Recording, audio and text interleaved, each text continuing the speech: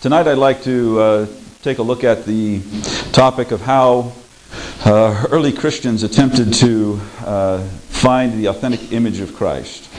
Early Christians from the 4th uh, through the 6th century depicted Christ in many different ways, but um, eventually there came to be kind of a standard uh, iconographic way to represent Christ. And the question then becomes why do we depict Christ the way we do. I mean, I assume most artists who depict Christ today haven't actually seen him. And yet there is a, a way in which artists just tend to almost naturally try to depict Christ in a certain way. What I'd like to do first is, is show you a series of uh, images of Christ ranging from the entire history of, of Christian art. This is one of the earliest we have of him. Uh, I won't go into the details of the exact places and dates, but they're listed for each of these illustrations. But uh, as, as I uh, scroll through these, take a look at and try to see how uh, the image is fairly static. Now, in fact, there are many different ways to represent Christ. This one, however, tends to be what I'll call the traditional uh, iconography.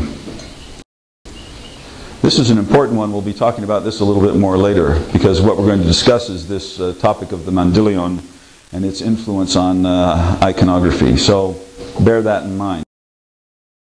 This is a, a, a duplicate of, a, of, an earlier icon that was in Constantinople from the 10th century and earlier.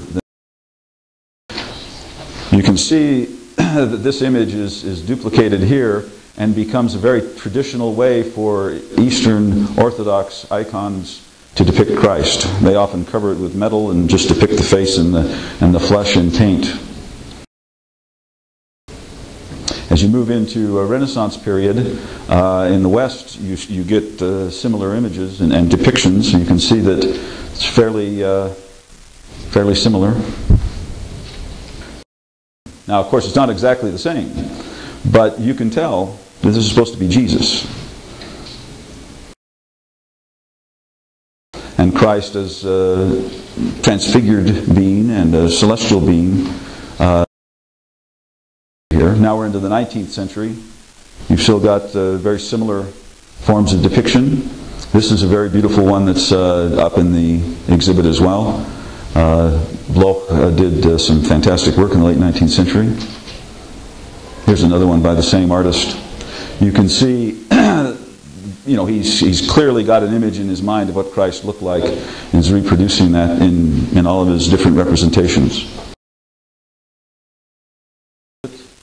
Uh, when you turn to specifically LDS tradition, that's really developed only in, in uh, this in the 20th century. We've got a number of uh, Teichert uh, paintings up in the exhibit, and this particular one you can see is strongly influenced by these earlier ones as well. And notice uh, this is from the Passion of the Christ, a movie a few years ago, and they pick an actor that, that fits the mold, right? We could have picked hundreds of different actors, and yet you pick one that's, that's similar to those other images. Our ensign, of course, uh, has regular representations of Christ, both traditional ones and by new uh, LDS artists. So this one's uh, Simon Dewey, and this one's Greg Olson. So what you end up with over the course of what we've shown you is, is really uh, 1600 years of Christian art. And you've got a fairly standardized iconographic representation of Christ. Now, again, the, the, the specific form changes, the medium changes, there's lots of differences. But nonetheless, there's this ongoing tradition.